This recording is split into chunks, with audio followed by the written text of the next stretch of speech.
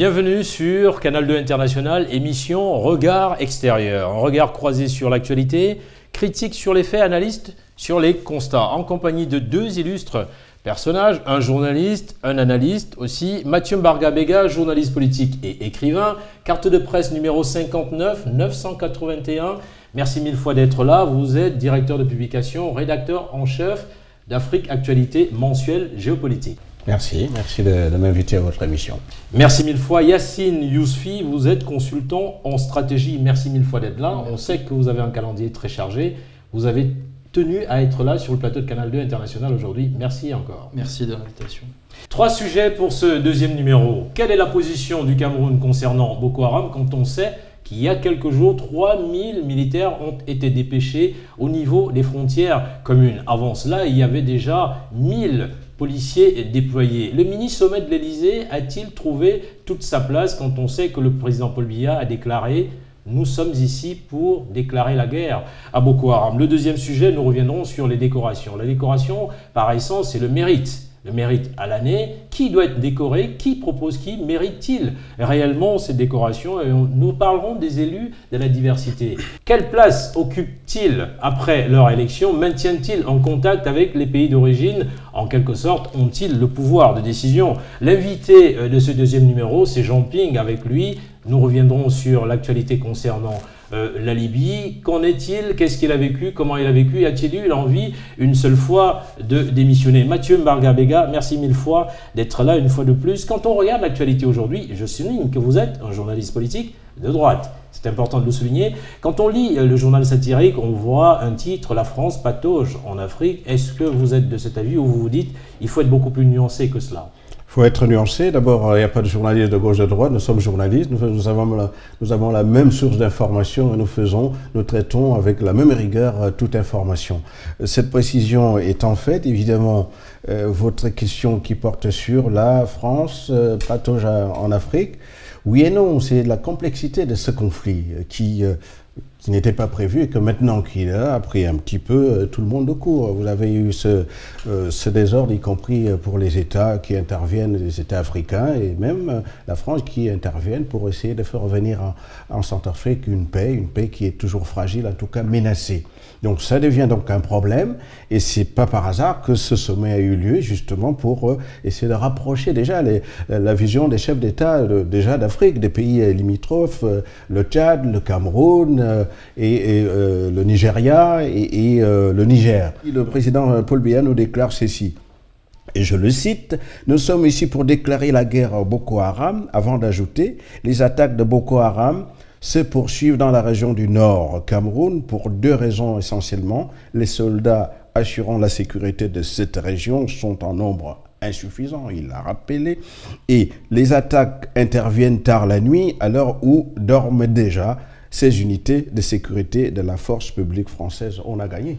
Pour une fois, le président Paul Biya nous dit la vérité sur ce qui se passe au nord du Cameroun. On, reviendra vers vous tout à l'heure. Euh, Yacine aussi, vous êtes consultant en stratégie. Quand euh, euh, Mathieu parle de l'incohérence des chefs d'État sur le plan organisationnel au niveau de, concernant le sujet Boko Haram au niveau de la sous-région, est-ce que vous allez dans ce sens-là? Alors, ce que je voudrais dire, c'est que les enjeux sont importants, mais les avis sont différents. Ce qu'il faut prendre en compte, c'est que chaque chef d'État de cette sous-région un avis partagé sur qui est Boko Haram. Est-ce que la menace est effective sur son propre pays Partagé, ça veut dire qu'ils n'ont pas vraiment la connaissance. De Bien sûr, parce que si, si, le, si l'avis lui-même était, euh, était rejoint sur, dans le même sens, euh, nous aurions traité le cas Boko Haram il y a bien longtemps. Nous avions un cas similaire au Mali, où nous avions des terroristes au nord du Mali. Est-ce que les pays d'Afrique euh, de l'Ouest se sont réunis sur les mêmes intérêts? Encore une fois, il est question d'avis des chefs d'État et de stratégies à adopter. Euh, aurait-il fallu attendre que Paris réunisse les chefs d'État pour les unir et faire une, photo de famille euh, dans laquelle euh, on dit, voilà, ce, 17 mai est fondateur d'une nouvelle stratégie commune. Est-ce que les chefs d'État eux-mêmes n'auraient-ils pas pu monter au créneau et montrer une, stratégie commune? Il y a d'ailleurs un chef d'État africain qui a déclaré au Gabon que les chefs d'État africains sont venus ici beaucoup plus pour la photo de famille qu'autre chose. Alors, tout, le monde peut, tout le monde peut penser cela, comme en ayant des avis divergents. Ce qu'il faut savoir, c'est euh, il y a eu l'enlèvement de, de, l'ICN, euh, il y a eu plusieurs euh, communiqués de différents hommes politiques à travers le monde. c'est sûrement un, événement qui a, eu ému, qui a ému les personnalités, mais sur le plan opérationnel, qu'en est-il des forces africaines? Est-ce qu'il était prévisible d'arrêter Boko Haram lors de l'enlèvement? C'est la question principale. On a vu Amnesty International qui était revenu sur le fait que euh, bien sûr, c'était prévisible. Aujourd'hui, il est vraiment question de, stratégie opérationnelle. Est-ce que les chefs d'État africains, euh, avec leurs forces armées, étaient en capacité euh, de prévoir l'enlèvement? Et donc là, encore une fois, c'est la stratégie de chaque chef d'État face aux problèmes concernés. Mais Yacine, vous... oui, Mathieu Je ne partage pas cet avis. Par contre, et pourquoi? Parce que précisément, c'est l'occasion de régler le problème que les chefs d'État africains, et je vais y revenir, ne savent pas, ne parviennent pas à régler entre eux en Afrique, puisque le problème de Boko Haram, c'est en Afrique, et c'est aux Africains d'abord de se, de se mettre d'accord et euh, de régler ce problème-là. Mais il se, trouve, il se, trouve, que la divergence, les divergences, en tout cas la, la, logique des conflits ou la culture des conflits entre Africains n'est pas nouveau, on peut y revenir. C'est là où je trouve dramatique euh, cette démarche qui consiste à dire que quand les Africains, par la moindre occasion qu'il puisse y avoir pour euh, régler le problème, on, les on reproche cela. Quand ils ne règlent pas le problème, on reproche. Donc, je pense qu'il faut un peu de mesure. Mais pour aller au fond de ma pensée, c'est le laxisme africain qui conduit à ce type de situation. Quand je vous ai indiqué tout à l'heure que je fais cette chronique, euh, le, politico-religieux musulman extrémiste, une menace pour le Cameroun d'aujourd'hui. Il y a neuf mois. Qu'est-ce que je dis dans cette chronique? J'interpelle la, force publique euh, camerounaise, en tout cas la direction des affaires du Cameroun. Leur ai dit attention, c'est maintenant qu'il faut absolument que euh, la force publique euh, camerounaise soit aux portes de, soit au nord, massivement au, nord, parce que les Boko Haram, on connaît la façon dont fonctionnent les extrémistes. ils, ils écoutent qu'un seul et une seule démarche ou qu'une seule démarche, la force qu'une seule réaction, la force. Si, vous n'avez pas la force, il ne recule pas. Les Camerounais, ceux qui ont lu euh, cette chronique, parce que je suis quand même lu, lui est, très connu, ont, dit, estimé que j'exagérais. Ils expliquaient que oui, le docteur Mathieu Mbarga il a raison, mais il est excessif. Sauf que neuf mois après, on est obligé, le président Paul Biya et ses chefs d'État dont nous avons nommé tout à l'heure, euh, tout à l'heure, est obligé de venir ça, veut dire en fait qu'ils réagissent d'une façon très tardive. Toujours, c'est pourquoi je parle de, de laxisme, c'est-à-dire en réalité, on ne règle pas les problèmes.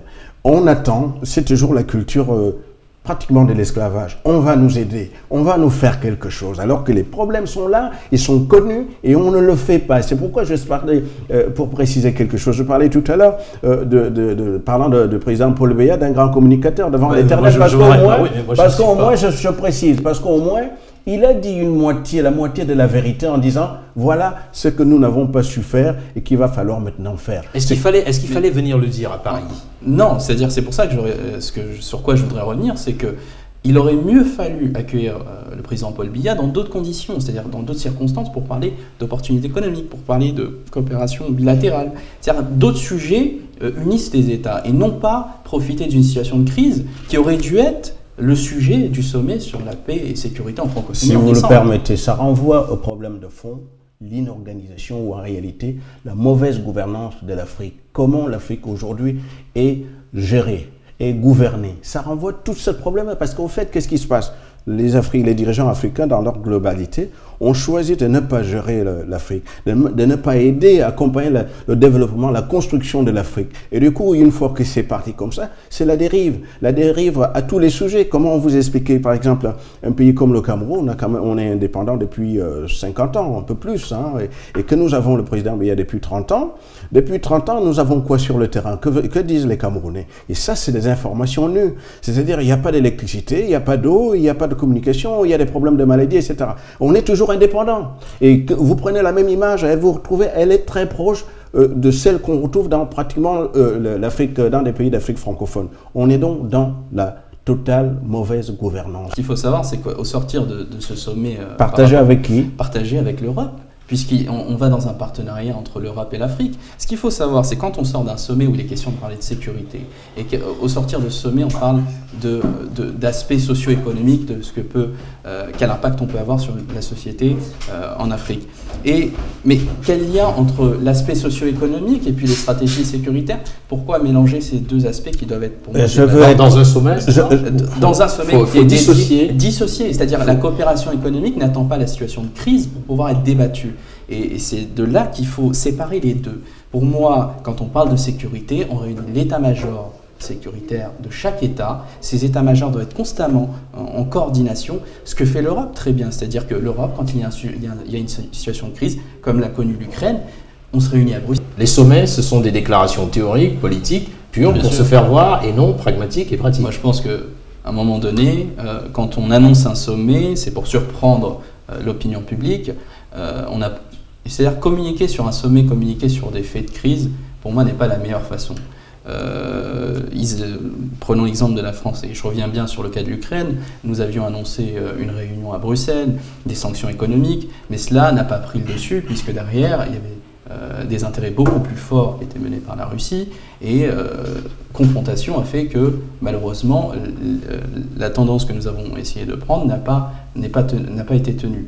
Ce qu'il faut savoir, c'est que par rapport c'est-à-dire il a été médiatisé, euh, tous les chefs d'État africains euh, sont venus à, Paris pour discuter d'un enjeu majeur, et puis une fois que les chefs d'État africains ont pris leur avion, nous ne parlons plus des conditions sécuritaires dans la sous-région. Et juste à côté, on a un pays qui est quand même en guerre, la Centrafrique, au, cours duquel, oui, euh, le sujet a été euh, vaguement balayé. C'est peut-être le quatrième sommet de François Hollande, dont deux sommets successifs sur la sécurité. Celui décembre et celui-ci, est-ce que pour vous, il est simplement entré en campagne? Ah, On sait que les sondages sont mauvais, hum. que Manuel Valls, euh, Manuel Valls est à la fois admiré par la droite, l'extrême droite lui prête certaines intentions, et lui-même envisage la présidentielle. Est-ce que le président Hollande est en campagne électorale?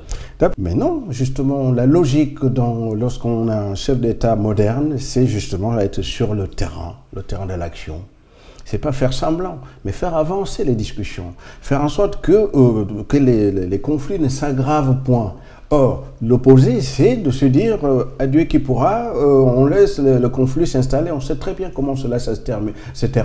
Lorsque on revient un peu sur la situation africaine, quand les Africains mettent du temps retardent à régler les problèmes chez eux, ça veut dire qu'ils construisent des États fragiles à terme, les guerres civiles.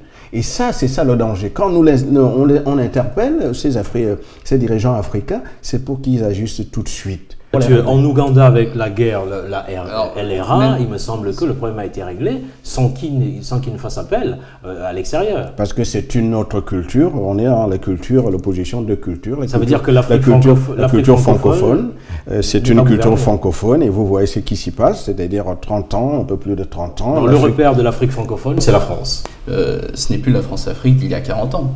Et une chose qu'il faut savoir, c'est que ceux qui ont maintenu les relations entre la France et l'Afrique ne sont plus là aujourd'hui. La, culture, la culture y est restée. La culture y est restée, mais je veux dire que les moyens n'y sont pas. Euh, le système même français est vieillissant. C'est qu'à un moment donné, on, est, on a une diaspora, euh, ceux qui sont nés ici et qui sont originaires de, pays africains et qui ont fait les mêmes bancs d'école que ceux qui dirigent aujourd'hui le pouvoir. Et c'est de se dire, euh, est-ce qu'on continue à donner une image qui est celle de vouloir protéger les droits de l'homme, maintenir des relations franco-africaines stables, et dans, les dessous, être à l'opposé, continuer à mentir euh, euh, sur, sur, sur ce qu'on compte faire réellement euh, des relations entre la France et l'Afrique, ou bien changer de position et mettre en œuvre ceux qui peuvent améliorer les relations entre la France et l'Afrique. Quand je dis ceux, ce sont à la fois les intellectuels africains, qui doivent prendre leur place aujourd'hui sur l'évolution de la société africaine, les politiciens africains, mais pas ceux qui ont maintenu le lien entre la France et l'Afrique. Je très bien, oui, mais bien, évidemment, nous allons, nous allons évoluer sur ce sujet. C'était la fin de ce premier module. J'espère que vous avez apprécié. Merci et à tout à l'heure.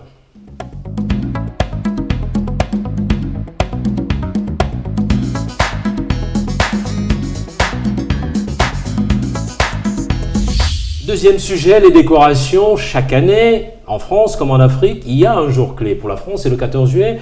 Et pour le continent africain, soit le 20 mai au Cameroun ou alors une autre date pour d'autres pays. Les récompensés sont nombreux, ils sont heureux de se voir paraffer sur la poitrine la médaille, la reconnaissance de la nation. Qui nomme qui? Qui conseille qui? Qui propose qui? Tous méritent-ils d'être décorés quand on sait que parfois elles sont décriées le 20 mai, à l'ambassade du Cameroun, il y a eu de nombreuses décorations. Et dans la foule, il y a certains murmures qui disaient que certains le méritaient et d'autres ne le méritaient pas. Je voudrais, euh, euh, Mathieu Mbarga, je ne sais pas si vous étiez à l'ambassade du Cameroun euh, ce jour-là. Est-ce que pour vous, aujourd'hui, ceux qui sont décorés méritent-ils cette décoration? Puisque vous avez rappelé que les décorations la fête nationale du Cameroun, à la suite euh, de celle-ci, les décorations, les manifestations, c'est qui est tout à fait normal. Mais les décorations en elles-mêmes, euh, c'est très curieux de, voir, de constater que c'est le même système un peu au Cameroun. C'est-à-dire qu'on décore les médiocres en général. Mais il est important. On décore les médias qui ont du mérite euh, euh, on, décore, je, veux m'expliquer, parce que sur ces questions-là sensibles, il faut toujours euh, faire attention de ne pas heurter et, blesser inutilement. Les décorations en elles-mêmes, ben oui, c'est un, mouvement pour récompenser, comme tout le monde le sait, les meilleurs des nôtres. Sauf que, au Cameroun, en partie, et comme cela doit se continuer à se faire au niveau de l'ambassade, on décore souvent les médiocres qui n'ont jamais rien prouvé. Ce que je veux dire, je dis par la suite, c'est que il faut qu'il y ait un comité qui euh, définit, euh, à la suite des travaux de, M. Nicolas Abenin, euh, connu et même qu'on publie. Mais non, là, on, on, donne des décorations aux copains, on a été bien au restaurant, puis après on se connaît bien, puis on est du même village, et puis finalement, l'image désastreuse que cela donne, c'est que nos enfants, nos jeunes pensent que finalement, il n'y a pas d'effort à faire. Il n'y a plus de culture de travail, il suffit simplement de bricoler un peu, puis finalement, on vous récompense. C'est ça le danger. C'est-à-dire que si euh, on parlait tout à l'heure de tous ces problèmes qui, qui, nous concernent, qui, concernent le, qui freinent le développement de l'Afrique, si nous voulons aller aux responsabilités, il faut former les responsables. Les responsables, ça passe par le filtre de l'éducation nationale. Ça n'est pas sur les arrangements, sur des copains qui euh, récompensent des copains. Alors, est-ce que ça passe aussi oui, tout à fait. rejoindre ce qu'il dit, effectivement, la ah, pour une fois, vous êtes d'accord là. Je suis d'accord, puisque le sens de la décoration, c'est aussi le sens des honneurs, mais c'est aussi le sens de la reconnaissance, le mérite de la nation. Et euh, effectivement, pour avoir un avis partagé, c'est que certains le méritent et d'autres non. Ça a toujours été le cas dans toutes les situations. En France aussi, euh, on peut s'interroger sur le mode opératoire, sauf qu'en France, effectivement, euh, tout est bien régulé, bien articulé, mais in fine, ce qui se passe, c'est que quand les têtes d'affiche arrivent euh, avant d'être décorées, on se dit, mais est-ce qu'ils le méritent réellement? Tout le monde ne peut pas être décoré en France. Hein. On donne quelques exemples parmi certains pour montrer que oui, effectivement, l'effet des décorations marche, mais derrière, ce n'est qu'un plan d'affiche. Et euh, oui, il faut redonner un sens aux décorations, au dévouement civique, au dévouement militaire, reprendre euh, corps de tout cela. Alors quand on voit comment les choses vont vite aujourd'hui, est-ce que vous pensez qu'il y a vraiment le temps, euh, bah, certes, de mettre en place un comité, mais de dire celui-là le mérite sur un an? Tout est dans la manière où les choses se, déroulent. Si nous, nous faisons un bon diagnostic sur la problématique qui est la nôtre, on en sort avec une démarche cohérente. Elle ne l'est pas dans le cas d'espèce. Pourquoi? Parce que je dis, la machine est, euh, le jeu est pipé dès le départ. C'est-à-dire que l'on ne se dit pas, attention, que l'image ça va donner si nous décorons X personne, alors que sur les faits, il n'a rien, euh, elle n'a rien prouvé, cette personne n'a rien prouvé de concret. On est donc dans la rigueur, d'abord c'est non seulement le bon sens, mais c'est surtout aussi la dignité, la reconnaissance réelle. Et puisque nous sommes en diplomatie, on sait qu'entre ce qu'on voit et ce qui existe, c'est complètement, c'est deux choses complètement différentes. Je veux dire que ce sont les diplomates quand même qui, qui qui, donner l'impulsion, enfin, euh, quand une nation veut se développer avec ses moyens propres, euh, euh, elle crée ses moyens et ça passe. Ses moyens pour l'essentiel c'est des personnes comme vous et moi. Ça n'est pas de c'est pas des arrangements. On a vu qu'après 50 ans on s'est toujours arrangé euh, pour dire on met quelqu'un à un poste où il n'a aucune compétence mais il est là-bas. On sait très bien le résultat que ça va donner mais on le laisse quand même. C'est comme très bizarrement pardonnez-moi sur le, le, cas de Cameroun par exemple. Quand vous prenez les régions avant l'idée était quoi? Il faut dans un gouvernement qui est les ressortissants les représentants de, des dix euh, des dix régions du Cameroun cette réalité n'existe plus aujourd'hui. il y a des représentants qui ne sont pas forcément mérités oui, parce que, ben oui, parce que effectivement, il faut maintenant, parce que comme on n'a pas innové dans le sens des réformes, qu'est-ce qui se passe? Entre-temps, la société, elle, a évolué. Les dix régions du Cameroun ont formé des, Camerounais aptes, c'est-à-dire qui ont l'expertise dans tous les domaines. Pourquoi on continue au nom de l'équilibre régional, à prendre des gens qui sont incompétents. Mais, je, vais, je, vais, tout à fait. Alors, vous dites quelque chose qui, qui, enfin, qui me gêne un peu parce que les réformes au Cameroun sont prises. Est-ce que le fait est de prendre des réformes ou de les appliquer? Les deux, sont prises. Les, deux, les, deux, c'est que euh, lorsque vous faites une, une réforme, c'est une chaîne. Il faut maintenant que ces réformes-là se, développent sur le terrain. Et si elles ne sont pas, c'est comme si vous n'avez rien fait. Si vous dites quelque chose et que sur les faits, euh, c'est pas du concret, on est dans du bavardage, on, est dans la méthode... Euh, méthode Coué, en quelque sorte. Non, pour revenir sur un point important, c'est que la valeur même de la décoration, si elle n'est pas respectée, porte aussi atteinte à l'image du pays. Et euh, on a eu des cas similaires dans, dans, la fonction de la diplomatie. Souvent, on a, il y a eu des nominations parce que euh, on est proche d'un tel à des postes stratégiques et qui n'ont fait défaut qu'à l'image du pays, puisque au moment où la crise est parvenue, bah, la personne qui était censée négocier n'a pas, pas eu la formation pour n'a pas eu la formation pour, et vous vous dites que cette personne finit parfois par être décorée alors qu'il n'y a pas le véritable oui, À ternir l'image. Effectivement, c'est glorieux d'avoir les honneurs, de porter les insignes. Euh, mais qu'en est-il réellement de l'action de chacun? C'est de savoir est-ce qu'on est utile au pays? Faut-il une décoration pour être utile? Puisque, euh, effectivement, on ne peut pas décorer tout le monde. Mais le peu qu'on décore, si on le décore de manière utile, je pense qu'on peut donner un exemple au reste. il y a surtout, le, et derrière tout cela, le contrôle, c'est-à-dire que vous l'avez bien souligné, qu'attention, c'est l'image du pays, c'est le symbole du pays, c'est-à-dire en termes de qualité. Ça n'est pas euh, euh, allons-y, on va. Non, c'est l'image du pays. Est-ce que le pays est construit? Est-ce que le pays est responsable? Est-ce que les dirigeants sont là à la hauteur de reconnaître les meilleurs des leurs sur le plan euh, des actions posées pour la nation? On est toujours dans cette logique-là. Lorsqu'on on est dans un pays sérieux, cette exigence, bien sûr, c'est la ligne principale, essentielle. Maintenant, quand c'est des pays en construction et aussi avec le désordre que nous avons relevé tout à l'heure, on fait un peu n'importe quoi et cela ne marche pas. C'est-à-dire cela détruit l'image du pays que de servir l'image du pays. Et c'est pourquoi on en parle. C'est pas du tout pour euh, critiquer, pour, c'est pour dire attention, nous sommes en train d'aller dans des dérives et qui sont dommageables, euh, dommageables pour l'image du pays. effectivement, il y a un problème dans les décorations. Mais ce même désordre se retrouve aussi en la matière de, de, gestion. C'est une chaîne.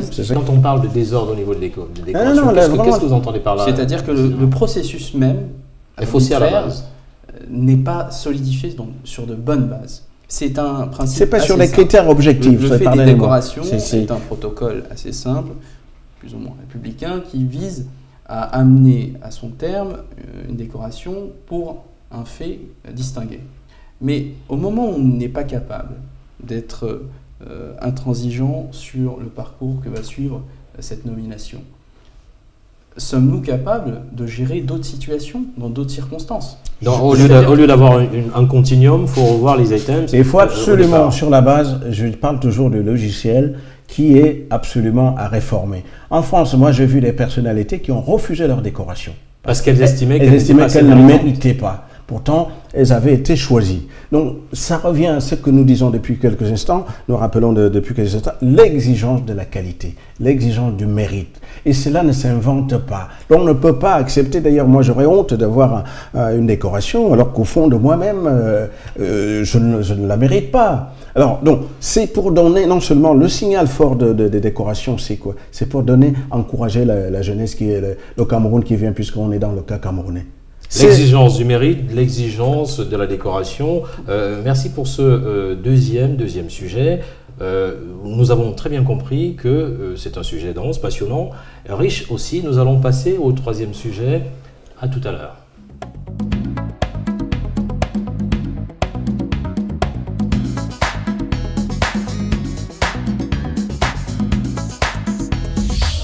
Retour sur le plateau de Regard Extérieur, émission de Canal 2 International en compagnie de nos deux invités, grands débatteurs, vous le constatez. Le troisième sujet, c'est sur les élus de la diaspora. Les nouveaux élus de la diaspora ont-ils une réelle stratégie de pouvoir? Ont-ils la possibilité de travailler avec les pays d'origine? Les dernières élections municipales l'ont montré. De nombreux élus de la diversité, et vous êtes vous-même un enfant de la diversité, aussi bien euh, monsieur euh, Mathieu Mbargaveka, dont la carte de presse est le numéro 59 981, il l'a depuis 25 ans, c'est dire l'expérience. Yacine, que vous évoque ce sujet sur les élus de la diaspora Est-ce qu'ils ont un réel pouvoir? Je vous rencontre souvent dans les couloirs de l'Assemblée nationale en train de faire du lobbying et dernièrement c'était au, Sénat, justement avec certains attachés parlementaires. C'était pour ça Bien sûr, d'abord il faut les sensibiliser puisque je pense qu'ils ne prennent pas conscience des enjeux qui les entourent. Certains euh, d'entre eux siègent à l'Assemblée nationale, d'autres sont des assistants parlementaires. Ils sont inaudibles. Mais bien sûr qu'ils sont inaudibles, puisque nous ne serions pas là s'ils avaient conscience de ce que pouvait représenter le lobbying. Euh, ils n'ont pas conscience des enjeux, et encore moins avec leur pays d'origine. Il y aurait des tonnes de choses à dire sur ce que représente la diversité en France même et comment est-ce qu'elle se constitue. On a eu le droit à des associations qui avaient pour but de réunir euh, les élus de la diversité. Mais ces associations encore sont faites sur des principes honorifiques, où il faut un chef, ce chef aime bien être au petit, cocktail et aux réceptions, et ainsi de suite. Mais quel exemple donnons-nous pour cette génération qui arrive et dont on n'a même plus besoin de parler d'intégration puisqu'ils sont nés en France, euh, sous le drapeau français et ainsi de suite et qui ont leur place. Mais on n'a pas cet exemple. Puisque il n'y a plus lieu de parler de français d'origine, de français tout Non, puisque euh, au moment où on est sur le territoire français et qu'on va, euh, qu'on fait la même école que ceux qui se disent d'origine française, hein, encore faut-il se poser la question si on est français d'origine ou bien français euh, par droit. Et je crois qu'il y a encore quelques mois, on revenait sur la question du, du droit du sang, du droit du territoire et ainsi de suite. Mais euh, pour revenir sur la question précise, si les élus euh, français d'origine étrangère ont réellement un impact, non, ils sont là pour des têtes d'affiche. Vous verrez bien que quand dans une élection municipale on constitue sa liste, on met souvent un élu issu de la diversité en deuxième position pour montrer que, à sa population qu'on est conciliant. Et euh, in fine, ce qui se passe quand l'élection du maire arrive, elle se retrouve en sixième, septième position. Oui, ce sont des des jeux de partis politiques. Puisqu'aujourd'hui, aucun d'entre nous a réussi à se structurer, à proposer une alternative de ce que se fait quotidiennement euh, dans les partis politiques. Alors Mathieu, je, vous êtes quand même très actif euh, à droite, ça il faut le dire. C'est pas parce que euh, tout à l'heure vous disiez qu'il n'y a pas de journalisme de gauche comme de droite, mais il y a quand même le syndicat des journalistes de gauche, le syndicat des journalistes de droite, euh, le syndicat des journalistes parlementaires. Confère, je Mais, mais, je, vous ai je vous ai souvent vu à l'UMP très très très actif et la question que je me suis toujours posée c'est mais, mais, pourquoi vous n'avez, vous n'avez jamais été sur une liste électorale? Vous avez raison de rappeler que je suis extrêmement actif à droite, je suis conservateur. Effectivement, nous, travaillons beaucoup pour euh, faire avancer euh, euh, les idées, les programmes. C'est évident que il faut produire, produire la réflexion. C'est notre base de données. Autrement dit, le débat sur l'intégration, immigration, les élus de la diversité, ou de on n'avance pas s'il n'y a pas de la matière. Et nous avons beaucoup travaillé pour que il y ait euh, la présence des Africains de la diaspora en politique. Mais c'est des combats. Parce que en face, il n'y a pas de place pour euh, ces, nouveaux Français, euh, ces nouveaux Français. Et cela renvoie, c'est là il faut quand même nuancer le propos qui vient d'être tenu, parce que il faut voir d'où nous venons. Il y avait aucun élu, même pas euh, conseiller municipal issu de la diaspora, il y a moins de 5 ans, cela n'existait pas. Mais on parlait de l'ancien secrétaire d'État, Roger Bambi. Non, mais on n'est pas Là, nous, nous, parlons, euh, nous euh, confondons les choses. Précisons qu'il s'agit là des nominations, ce n'étaient pas les partis politiques. Ces gens-là n'étaient pas nommés parce qu'ils parce qu'ils avaient joué un rôle politique ou ils avaient exercé une action, une activité politique. C'était des nominations, des gens qu'on connaissait bien, qu'on voulait récompenser. Si vous voulez terminer, voilà, si vous voulez que je termine, s'il vous plaît. Donc l'idée que euh, les élus de la, de la diaspora, ils sont de plus en plus nombreux, vous le trouvez, les hommes et les femmes. Euh, pour, pour moi, ces élus souffrent d'une autre difficulté, mais cette fois particulière. C'est-à-dire que lorsque avec le peu de temps qu'ils ont dans leur euh, municipalité, dans leur exercice de pouvoir, lorsque ces élus décident d'aller conduire une activité dans leur pays d'origine, ils sont refoulés. C'est toutes les difficultés de la terre. je dis qu'ils n'ont pas su s'imposer. Attendez, ils n'ont pas su s'imposer. Attendez, c'est pas question, c'est pas si évident que ça. Je, continue mon analyse pour que vous allez très bien comprendre. Il y a donc une chose, c'est un pas après l'autre. Il y a une chose qu'il faut comprendre. Ces élus existent. Moi, ce qu'on ne veut pas voir, vous avez le droit de ne pas voir qu'ils existent et qu'ils ne foutent rien. Ça peut aussi se concevoir, sauf que ce n'est pas la vérité. Mais en, réalité, mais, mais, en réalité, mais en réalité, je parle de ces élus qui existent et qui ont une ambition, puisque c'est la question qui nous est posée, de rentrer, de rentrer. Est-ce qu'on peut, est-ce qu'on peut évoluer Est-ce qu'on peut évoluer dans, est-ce qu'on peut évoluer dans le débat Moi, je suis pas là dans, dans le jugement. Je, je, constate que ces élus existent. Je constate que ces élus que je connais, on peut revenir d'ailleurs, je vous donnerai les noms et vous les invitez, ils vont vous dire leur galère, c'est-à-dire qu'ils ont réussi dans leur commune à trouver la possibilité de signer des, une coopération euh, de ce qu'on appelle les villes jumelages avec euh, euh, etc. Seulement, c'est-à-dire une fois bataillé ici après avoir obtenu cette possibilité avec le maire qui décide parce que c'est pas l'élu deuxième niveau qui va décider avec l'accord du maire principal quand il rentre au pays. J'en fais pas ces cas-là, un cas général. Quand il rentre au pays, c'est au pays qu'il y a plus de difficultés. Donc, ce que je dis par là, c'est qu'il y a des difficultés à régler à tous les niveaux tout est le socle de, notre réussite, c'est la cohérence de ce que nous faisons. C'est-à-dire, nous avons des difficultés ici, nous avons des difficultés de, l'autre côté. Il faut maintenant qu'on trouve le meilleur, le meilleur moyen pour faire avancer les projets. Parce que c'est quand même, je sors là-dessus, c'est quand même frustrant que après avoir euh, euh, battu, enfin, euh, réussi à faire des efforts colossaux ici, et qu'on trouve les mêmes alors qu'on vient apporter son énergie pour, le développement de son pays. Alors il y a un constat que j'ai eu à faire. Il y a, un constat que j'ai eu à faire dans la question malienne. J'ai quand même observé que c'était les élus maliens de la diversité qui ont commencé à poser la problématique du Mali et ils avaient été reçus le jour du débat Nicolas, euh, Nicolas Sarkozy, François Hollande. Ils avaient été reçus au premier étage par Thomas Mélonio et deux autres conseillers, euh, alors que sur le plateau, il y avait un débat. C'est eux qui sont venus avec cette question-là. Pour, revenir sur le cas du Mali, pour revenir sur le cas du Mali, puisque je l'ai vu, je l'ai vécu euh, de l'intérieur, ce qu'il faut savoir, c'est qu'on a eu des élus de la diversité qui représentaient les élus maliens de la Ils avaient une, association et euh, ceux qui dirigeaient à ce moment-là ne voulaient apparaître simplement pour les honneurs. Quand son pays est en crise, on ne s'affiche pas simplement parce qu'on est élu, parce qu'il faut serrer la main du président de la République, ou assister à une réunion avec le président de la République. Parce que les mêmes qui ont critiqué, ou bien qui ont, les mêmes qui ont soutenu, excusez-moi, les mêmes qui ont soutenu l'action du président de la République, aujourd'hui la révoquent. En un an de temps. Les mêmes qui ont fait les marches et qui étaient regroupés en association d'élus, aujourd'hui critique l'action de la France. Mais comment vous expliquez, comment vous expliquez que dans le cas du Mali, justement, certains élus de la diversité qui avaient commencé à faire un travail se sont vus mis de côté Mais on n'a aucun intérêt à mettre, à mettre en orbite ceux qui apportent la bonne voix, entre guillemets, ou bien l'analyse que les autres ont oublié ou qu'on daigné de, de prendre en compte. Ce qu'il faut savoir, c'est qu'à un moment donné, quand on parlait de, tête d'affiche, quand on parlait de, semblant, nous sommes dans le semblant parce que notre système, il faut le préserver. Quand vous parlez de conservatisme, à aucun moment on a un intérêt à ce qu'un jour, un leadership issu de la diversité atteigne le sommet de l'État. À chaque niveau, dans l'administration, dans la vie politique, vous verrez qu'on s'en contente toujours au même. Mais Par contre, quand il s'agit de mettre les uns contre les autres, on envoie toujours les mêmes pour faire le travail. Je vous prends un exemple précis.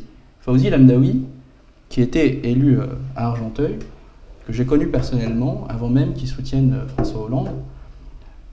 Dernièrement, il est aujourd'hui à l'Assemblée nationale. Il, est aujourd'hui conseiller diversité du président de la République. Vous savez ce qui s'est passé pour Fauzi Lamdaoui Au moment où il voulait absolument la circonscription des Français de l'étranger euh, regroupant au, Maghreb, Martine Aubry s'y est opposé. Tout à fait. Ça, Comment peut-on aujourd'hui s'opposer or qu'il avait toute la légitimité et puis l'appui du président de la République. vous, avez, vous, vous, avez noté que dans la question hyper super euh, complexe que nous survolons pratiquement à delta plane parce qu'il faudrait du temps pour aller au fond.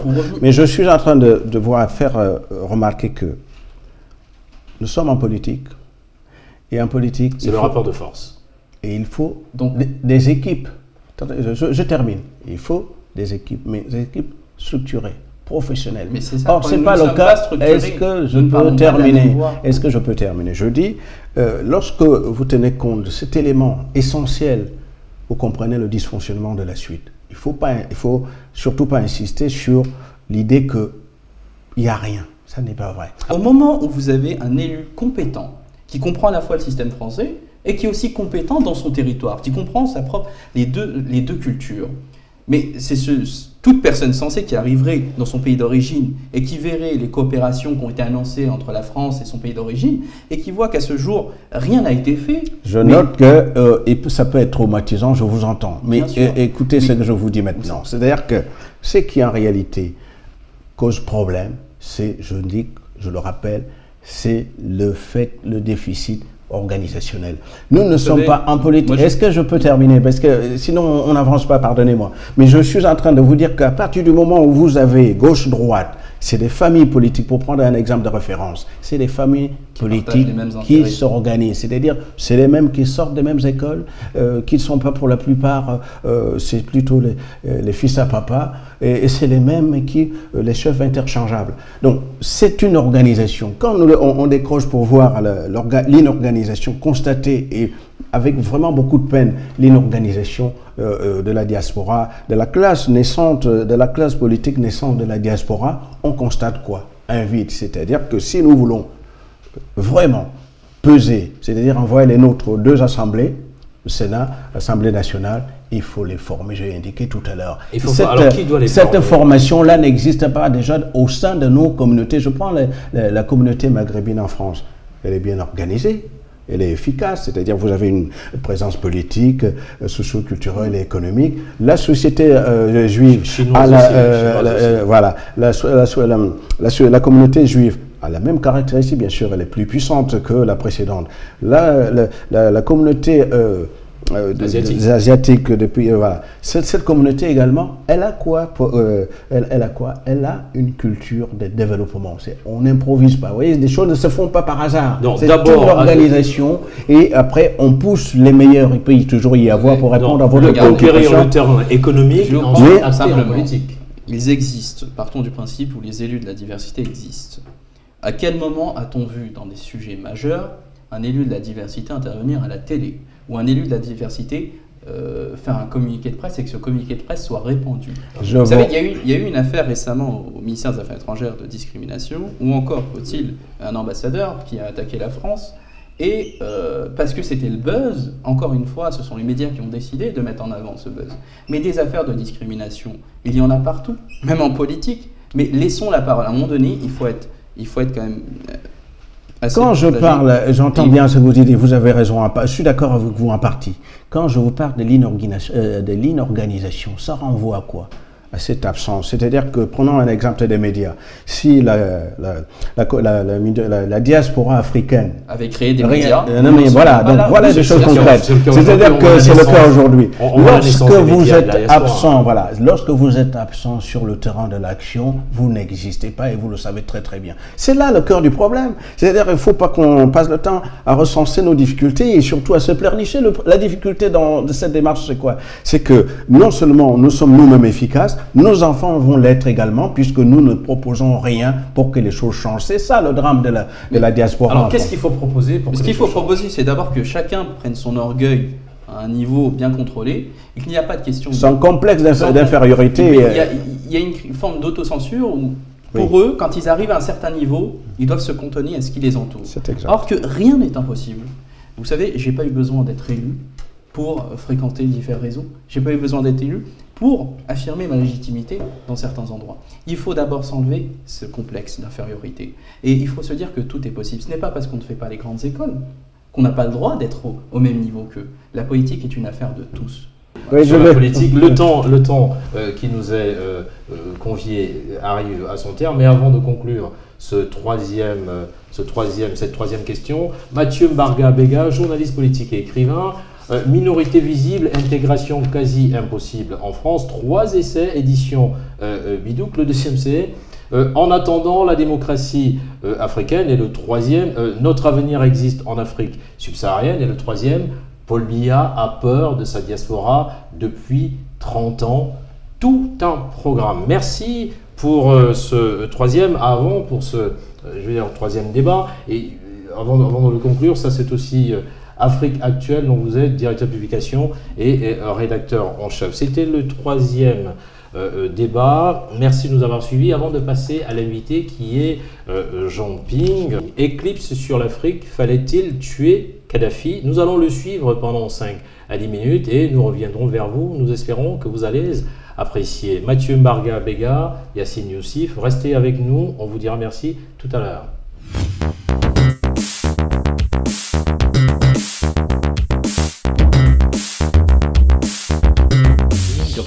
Merci et bienvenue sur Canal 2 International. Merci, c'est moi qui vous remercie. On ne le dit jamais assez, euh, vous êtes docteur en économie et ça on n'en parle jamais. Pourtant vous faites de brillantes analyses économistes et vous avez été euh, euh, plusieurs fois ministre, vice-premier ministre, président de la commission euh, de l'Union africaine jusqu'en 2013. Et on se souvient du sommet de Malabo où vous avez défendu bec et ongle les bombardements qui devaient commencer en Libye. Vous avez été médiateur entre Benghazi et Tripoli à plusieurs reprises. On se souvient d'ailleurs euh, que quand le bombardement, la veille du bombardement, vous devriez aller à Tripoli pour continuer cette médiation. Qu'est-ce que vous retenez dans cette période euh, dans cette grande période libyenne Bien, écoutez, euh, d'abord, je dois vous dire que tout ce qui se passe aujourd'hui en Libye et ailleurs, au Mali par exemple, les dommages collatéraux que le Mali a subis à la suite de la crise libyenne, tout ceci était prévu. Nous avons à plusieurs reprises alerté l'opinion internationale. Je me suis rendu à Washington, plusieurs fois. Je me suis rendu à Londres plusieurs fois. Je me suis rendu à Bruxelles où j'ai rencontré à la fois les responsables de l'OTAN, mais aussi les responsables de l'Union européenne. Je me suis rendu à Paris, à, Rome, etc. Tout ceci pour expliquer à nos partenaires que la position que l'Union africaine avait adoptée, qui est très claire et qui s'opposait à toute intervention militaire extérieure à l'Afrique. Nous avons expliqué cette position, le plan que l'Union africaine a mis en place, un plan en cinq points, euh, mais également les conséquences qui résulteraient d'une déstabilisation de la Libye. Nous avons tout expliqué à nos partenaires. Mais qu'est-ce qui s'est passé? Vous avez tout expliqué euh, à vos partenaires. Euh, vous aviez un plan en cinq points. Et dans l'un de ces points d'ailleurs, il n'était pas question que le, colonel Kadhafi reste en poste, mais qu'on assure la transition. Oui, c'est un plan qui, il faudra le dire, hein, est pratiquement celui qui est aujourd'hui appliqué à la Syrie. Ce plan en cinq points, hormis les questions humanitaires qui se rapportaient en particulier aux travailleurs immigrés africains qui, comme vous le savez, avaient été maltraités euh, en Libye, c'est un, plan qui demandait un cessez-le-feu, une transition consensuelle, c'est-à-dire forcément, si elle est consensuelle, c'est qu'elle ne pouvait pas être euh, euh, avec la, elle ne pouvait pas avoir la présence de Kadhafi. Il fallait être consensuel, il fallait que cette transition soit consensuelle. Cette transition aurait préparé, élaboré une nouvelle constitution, des nouvelles institutions en vue d'aller, et c'était là l'objectif final de la Commission de l'Union africaine et de l'Union africaine en général, en vue d'instaurer en Libye un régime démocratique. Mais ce qu'on ne comprend pas, euh, euh, docteur, c'est que euh, le, colonel Kadhafi avait plus ou moins accepté ce plan et que vous l'aviez d'ailleurs souligné lors du sommet de chefs de l'État à plusieurs reprises. Est-ce que ce n'est pas le fait du financement de l'Union africaine, parce que ce sont les bailleurs de fonds à plus de 70% qui le financent? Non, c'est vrai, mais le plan avait été accepté par les représentants du colonel Kadhafi. Et vous vous souvenez, puisque vous étiez là, qu'à Tripoli, pardon, qu'à Malabo, un consensus s'est dégagé parmi les chefs d'État présents à ce sommet de Malabo. Ce consensus s'était fait autour du plan de l'Union africaine. Et nous devions nous rendre, cinq chefs d'État, un par sous-région, avaient été désignés pour mettre en œuvre ce plan. Et nous nous trouvions à Nouakchott le 19 mars et nous devions partir de Nouakchott pour, pour Tripoli le 20 mars et le 21 nous devions être à Benghazi pour négocier ce plan. Et on nous a fait savoir que vous ne pouvez pas vous rendre le 20 mars à Benghazi parce que les bombardements commencent le 20 mars. Mais on accuse souvent le président Sarkozy, on dit c'est le président Sarkozy qui a dit si vous vous y rendez, c'est à votre risque et péril.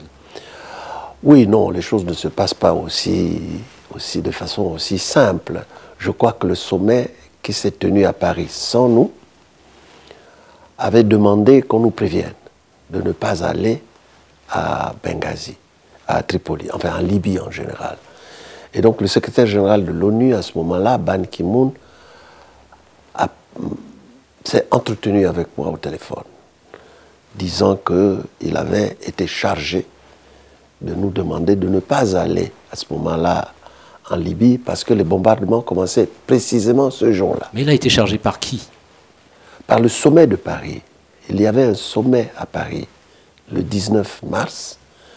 Euh, le 19 mars, oui, il y avait un sommet à Paris qui réunissait les Occidentaux, l'OTAN, c'est-à-dire les États-Unis, le Royaume-Uni, la France et aussi quelques autres pays, les pays de la Ligue arabe, un représentant de la Ligue arabe, le Qatar et d'autres. Mais l'Afrique n'était pas représentée à ce sommet. Et donc, nous avons été informés par le truchement du secrétaire général des Nations Unies qu'il euh, ne fallait pas se rendre le lendemain 20 mars parce que les bombardements commençaient ce jour-là. Effectivement, les bombardements ont commencé le 20 mars. Alors, en, tant que président de la commission à ce moment-là, euh, vous vous dites, euh, c'est dommage qu'on n'ait pas appliqué ce plan, ou alors, advienne que pourra, une fois de plus, je pose la question, est-ce que vous pensez que c'est le fait du financement de l'Union africaine euh, qui a fait que les bailleurs de fonds décident d'outrepasser euh, le plan qui était le vôtre? Non, non, non, non, non, non. Je crois que simplement la décision avait été prise au, cours de ce sommet-là de bombarder la Libye. Euh, vous savez qu'une résolution avait été adoptée à l'ONU. Tout à fait. La résolution 1973, qui donc euh, se rapportait à la responsabilité de protéger et qu'à partir de là, euh, il fallait entreprendre des actions. Et c'est le sommet de Paris qui a décidé que ce serait l'OTAN qui mettrait en exécution euh, ce qu'ils ont retiré de la résolution 1973, bombarder la Libye. L'OTAN a pris cette décision mais c'est Paris qui avait été le premier pays à bombarder euh, la Libye, euh, suivi du Royaume-Uni et des États-Unis qui ont décidé eux aussi de se joindre immédiatement à l'opération de bombardement de la Libye.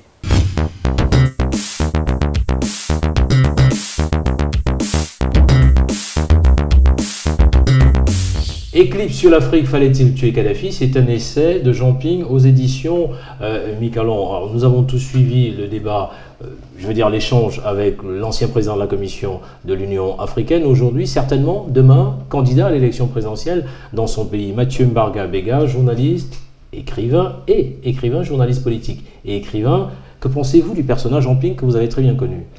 Fallait-il tuer Kadhafi? Je suis loin de... Ne peux pas me prononcer sur le fond du livre puisque euh, malheureusement je n'ai pas lu ces livres. Par contre, sur la personnalité euh, de M. Ping, Jean-Pierre Ping, euh, c'est... oui, c'est un... Jean Ping était un...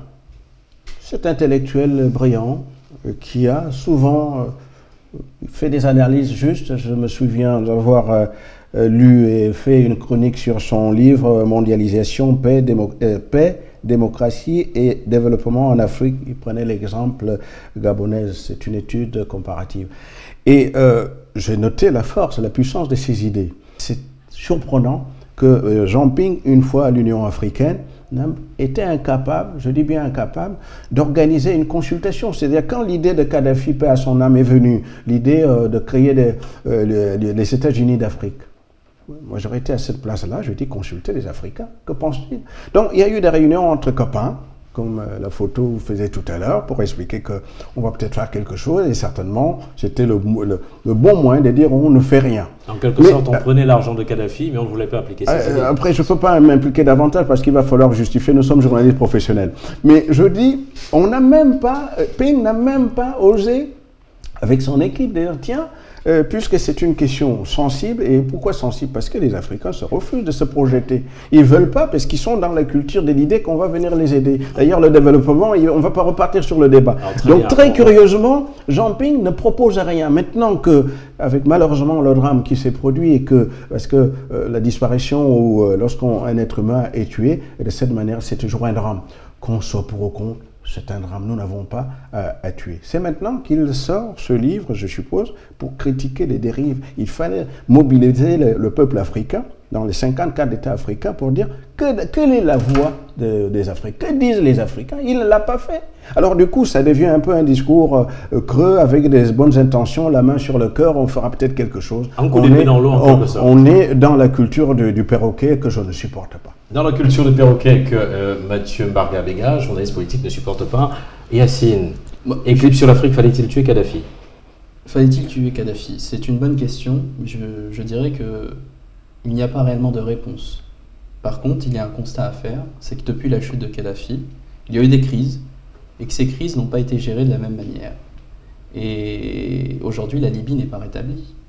Sera-t-elle rétablie un jour?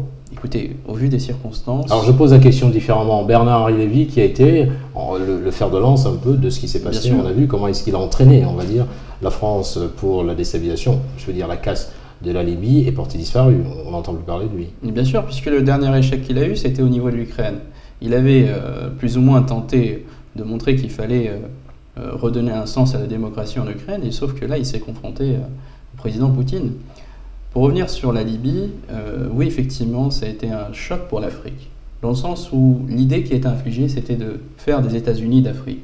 La question qui se pose, c'est que Kadhafi est mort, les chefs d'État africains la diaspora africaine est-elle capable d'avancer dans ce sens pour former les États-Unis d'Afrique Comme l'Europe l'a fait après la Seconde Guerre mondiale? Donc là est l'enjeu. Là. L'émission est terminée. Juste avec cette. Nous reviendrons sur le plateau pour un autre numéro, pour un autre numéro et un autre débat. Merci à vous, merci à vous d'avoir grandement, richement et hautement contribué à cet échange sur les trois sujets qui étaient proposés et surtout d'avoir regardé euh, ce que disait Jean Ping. Regard extérieur, Canal International est terminé. Merci de nous avoir suivis. À très bientôt pour, dans d'autres cieux, pour d'autres regards extérieurs.